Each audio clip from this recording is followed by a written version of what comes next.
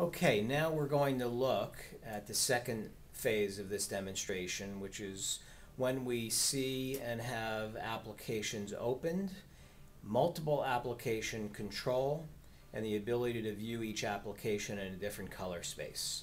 So what we just demonstrated a moment ago was a capability manually of selecting the full screen, the global full screen, to a color space. And we just moved from full retail mode, full, na full native mode to sRGB.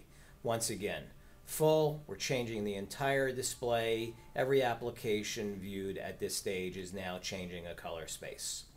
As we move into the ability to identify each individual application and assign a color space to each application, we have a utility called AppSync. AppSync will take a polling of every application on your system, and then you have the ability to come in here and select each application and either manually select the color space or as the OEM, you may choose to have a predefined set of color space uh, on your application portfolio. So this will automatically give you that adjustment capability on a per application basis. So now I'm going to move to selecting a particular application and then as I highlight it and bring it as the active window, what you're going to see is the actual movement of a color space that's just been assigned here differently than the color space here. So once again, I'm going to move now from this application and highlight my browser by selecting the application here. And you see a completely different color space that's occurred in my browser versus in my paint program. So this is an illustration now of the ability to change color space automatically by either highlighting the application or opening and closing it.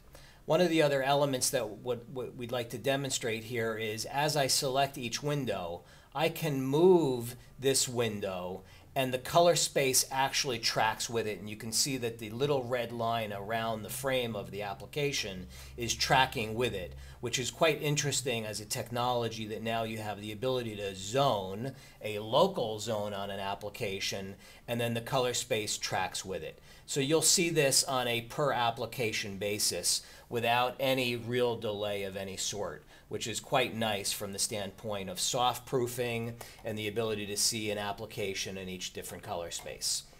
Now I'm going to illustrate right here a video. You'll notice that the video uh, color space just changed to what is Rec 709. That's been set here.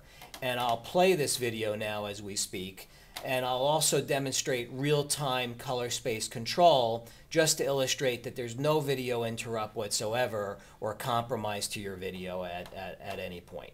So I'm now selecting color space again. We just changed the entire full display.